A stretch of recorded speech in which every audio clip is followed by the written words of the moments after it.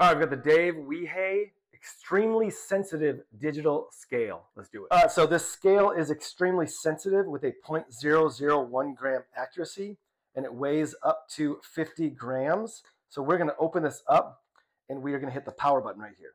So that turns it on. Then we are going to hold the M button. So CAL, we're going to set it down. We're going to hold it again because we are going to calibrate the scale. So it shows 50 grams right there.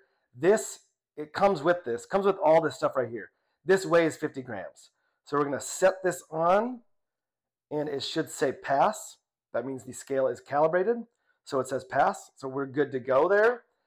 Now, so here's the, the various, depending on how, what you're to measure, how you're to measure it, here's the various tools that will that it comes with that will help you with that. Say, you know, a lot of people are to are, uh, want to measure supplements, maybe teas, and what have you. So this is going to help you with picking anything anything up like that, maybe like a pill or something. This is going to help you like with picking up the powder.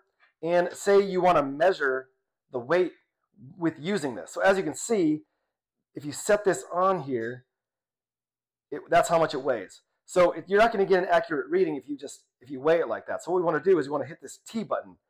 That calibrates it to this object. So if we take this off, that's going to go negative, which means it's going to give you a reading. Whatever you load in here, you know, I'm actually going to do that, show you. I just, there's a Kleenex right here. So set this on, it goes back to zero. Set this, and it shows the weight. And I'm actually going to show you how sensitive this is by just getting a nice, like a small piece, and just show you it still calibrates. So this is, it's insane how sensitive this is. I'll even tear a little bit more piece. It, whatever you want to weigh, this is going to get it. Extremely sensitive.